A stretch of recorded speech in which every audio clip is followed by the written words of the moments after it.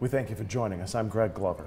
And I'm Latrice Currie. Tomorrow, President Trump is expected to visit the Dayton, Ohio community just three days after nine people were shot and killed when a gunman opened fire outside a bar. And tonight we've learned one of those people killed was Logan Turner. He's the brother-in-law of a voice you hear nearly every weekday here on Channel 3.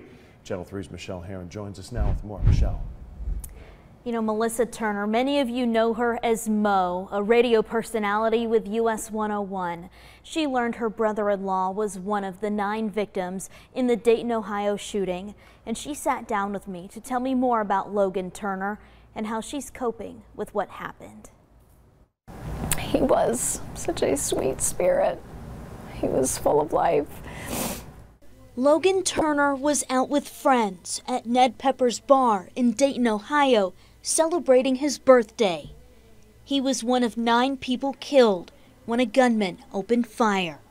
To lose your life at the age of 30 in such a way, it's just, you can't explain it. Logan had just started a job as a machinist when his life was cut short.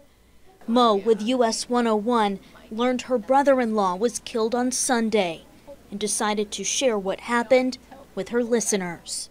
I mean, I live a life where I share a lot of my life with my listeners every day. And this is a story that I was not going to be able to hide. To just have something like this happen, yeah, you just, there's anger and there's sadness. And you just really don't know how to cope with all these emotions that you're going through right now. She's taking time to process those emotions and remember Logan for the life he lived and not what took it from him. It's easy to blame it, whether it's a political aspect or a gun law aspect. And I'm not saying that there's change that needs to be made, no doubt about it. But change that I know that can happen today, that people can do today, is to be kind to somebody.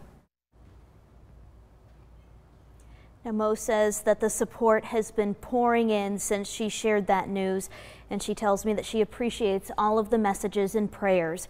And from all of us at Channel 3, we send our condolences to Mo and Logan's family. In the studio, I'm Michelle Herron, Channel 3 Eyewitness News.